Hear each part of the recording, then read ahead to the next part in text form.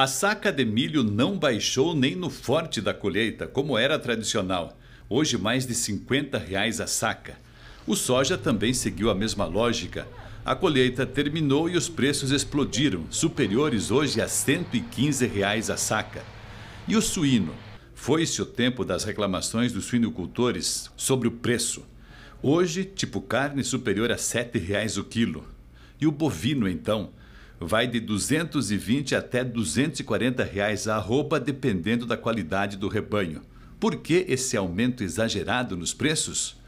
De acordo com Robson Mafiolete, superintendente da OCEPAR, Organização das Cooperativas do Paraná, há vários motivos, mas dois são os principais. O principal é o câmbio, né? E a demanda chinesa muito aquecida, né? A uhum. demanda chinesa não parou, né?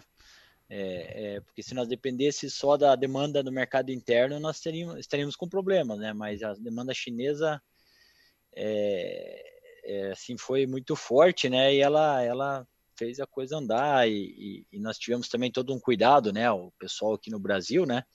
Para manter os protocolos de segurança, para não parar frigoríficos. Praticamente no Paraná a gente fez uma ação muito forte junto aos frigoríficos de suínos, de frango, né? Peixes é, e a gente não parou. E aí é, o mercado de, de, proteína animal aí é a China, né? Todo aquele problema que eles tiveram atrás da peste suína africana, né? Uhum. E eles não conseguiram ainda equacionar isso. Alberto Santin, diretor industrial e de grãos da Cooper Tradição em Pato Branco, segue a mesma linha de raciocínio e destaca a sede do mercado mundial por compra, especialmente a China. Hoje a demanda ela parece ser insaciável isso numa cadeia como um, como um todo, né? Nós temos na parte de grãos, é, soja, milho e trigo, uma demanda bastante aquecida, certo? E na, na cadeia de carnes, por conta, a gente sempre comenta, e, e, isso, se a gente voltar 10 anos atrás, a gente já falávamos que a partir do momento que o chinês aprendesse a comer carne, é, é, a proteína animal, no caso, produzido principalmente no Brasil aqui de, de aves, frango, é, suíno e gado, automaticamente a demanda ia ser muito grande. E de fato isso tem acontecido. O maior volume de exportação de soja segue sendo para a China. O Brasil encerrou o mês de julho, exportou na soja, no caso, 73 milhões de toneladas de soja, das quais 55 milhões foram para a China. Então, é, das 73 milhões exportadas, nós fizemos uma conta, 80% praticamente é para o país asiático. A vocação de produtor de grãos e a falta de planta industrial para agregar valor, como faz a Argentina, transforma o Brasil no principal fornecedor de grãos para a China. Quem que consegue atender a China da demanda que ela tem? No caso da soja, são dois países basicamente, Brasil e Estados Unidos.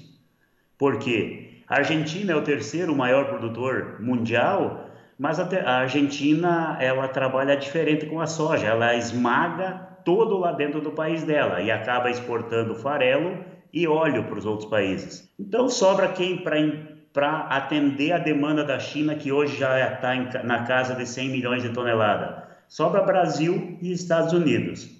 Com a queda de braço e a guerra comercial entre China e Estados Unidos, obviamente, a, a, o direcionamento das compras e das aquisições do país asiático, a China, voltou-se praticamente todo para o Brasil. Robson Mafiolete, que é mestre em economia aplicada, alerta para o perigo do dólar alto. Além de estimular a importação de commodities, o que é bom para o país, eleva o preço dos alimentos internamente, afastando o poder de consumo do brasileiro que ganha pouco. O dólar ele é, ele é importante para as exportações, né? ele dá uma competitividade para o nosso produto no mercado internacional, mas nesse patamar tão elevado ele não é bom para a economia, né? Uhum.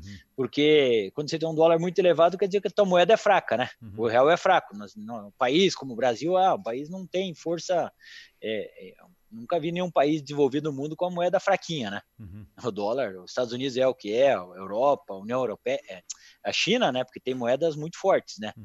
Então a ideia é que o, dólar aí, eu estava vendo o boletim Focus do Banco Central, para o final do ano é 5,20, né? Uhum. É um pouco puxado ainda, né? Um dólar aí abaixo de 5 seria um patamar assim que daria competitividade para nós exportarmos, né? Tanto é, as, as, as, os produtos do agronegócio, como também a parte de petróleo, os derivados que a gente exporta bastante, né? E também minérios, né? E não encareceria também aqui no mercado interno, né?